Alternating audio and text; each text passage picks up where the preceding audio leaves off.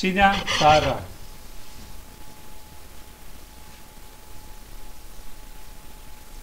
Txinatarren zibilizazioa, aran handiak eta ibaietako ertzeak bizileko bihurtzean oinarritu zen. Txinatarren zibilizazio zaharra, Asian garatu zen, kontinenteko zati handi batean zabalduz.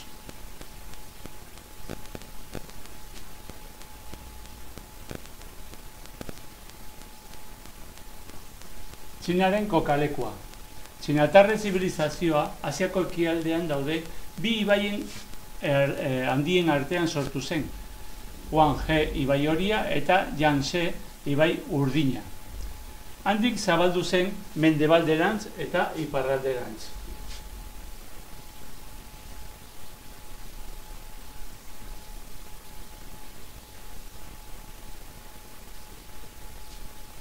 Historia kronologikoa.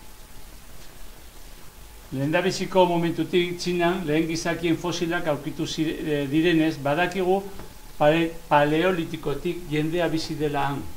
Neolitikoan lehen herrizka agertu ziren, ibaien ertzeetan. Neolitiko garaian. Hemen, daukagu aurkitutako fosil baten errepresentazioa. Homo erectus pekinensis, edo pekingo gizona deiturikoa.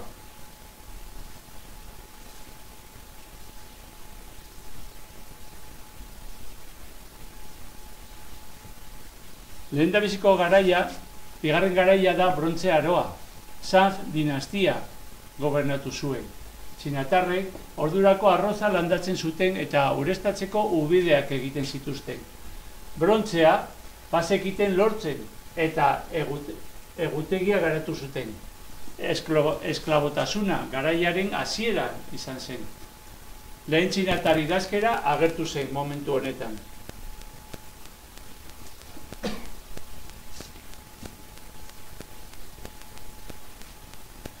Laugarren aroa urre aroa da. Zu dinastia. Burdina lantzen hasi ziren emperadorea, erregea eta paisa zen aldi berea. Baina ez zeukan poterea inguruko printzeengan. Esklobotasuna garatu zen nekazariak botero denen menpe zeuden.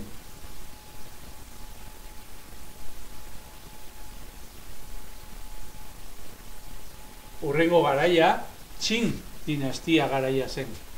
Txinatarren benetazko imperioa sortu zen, hortik dator Txinaren izena, Xin dinastiak jarritakoa. Xin Ti, emperadoreak, lurralde guztiak batu zituen indarrez, legedia eta idazkera bat inposatu zituen denentzat. Arresi handia eraikitzea agindu zuen. Iparraldetik, zetozen mongoloen, mongolen kontra babesteko.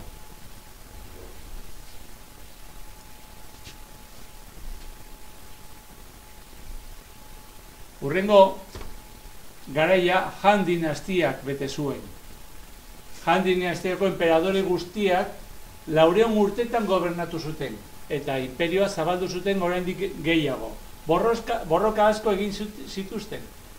Ekonomikoki oso ongi bizi ziren, erligioak eta ohitura zaharrak tinkatu ziren eta sistema politikoak hogei garren mender arte iraundu zuen. Arresia bukatu zen, nekazaritza, artizautza, eta herrialde arteko zarerosketa garatu zen, zeta, bolbora, tea, portzelana.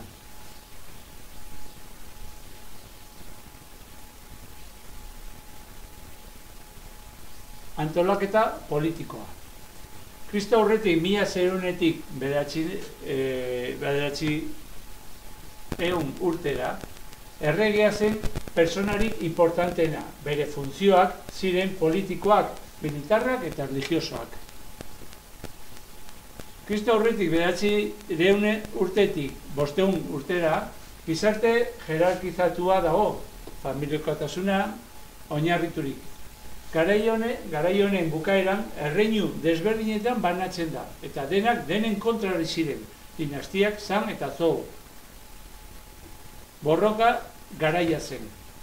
Kristo aurretik bosteun garren urtetik, Kristo ondoren berreun eta hogei garren urtera, nobleak krisialdia sartzen dira eta estatu zentralizatua sortzen da, nekazarien gan oinarriturik. dinastia kin dago gobernatzen.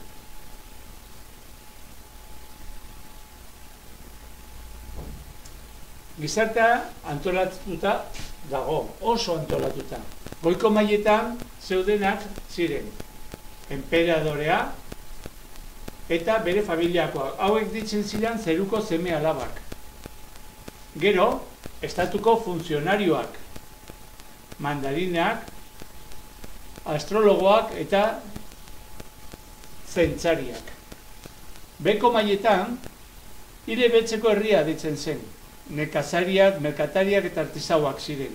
Eta azkeneko e, mailan, esklaboak eta gerrako gatiboak zeuden.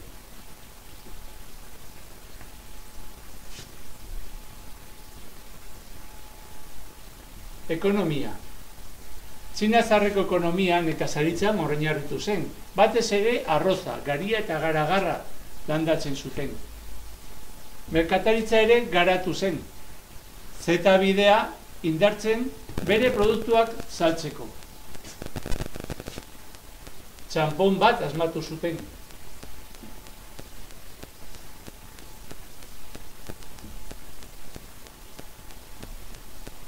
Erligioak.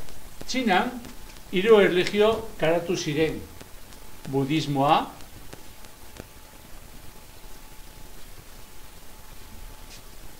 konfuzionismoa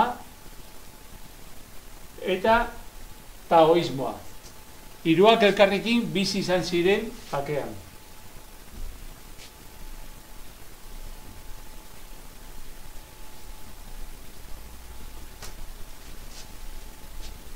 Txinatarrak oso asmatzaile honak izan ziren eta gauza asko asmatu zituzten.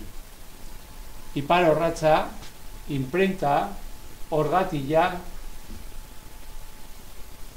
portzelana, bolbora, abakoa, hauek dira beste askoren artean importanteenak. Batzuk, orain arte, iraundu dute.